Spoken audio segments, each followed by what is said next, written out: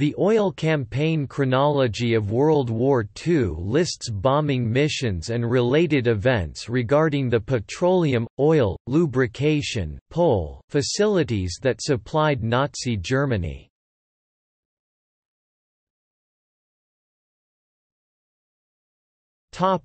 Legend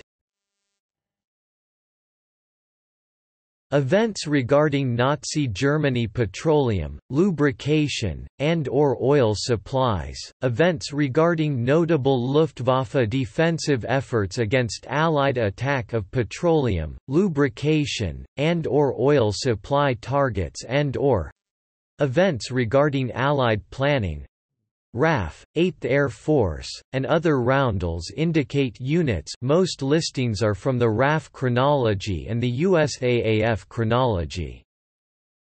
100 BG Listings that include the unit abbreviation BG as Bombardment Group are from the corresponding mission history for the unit.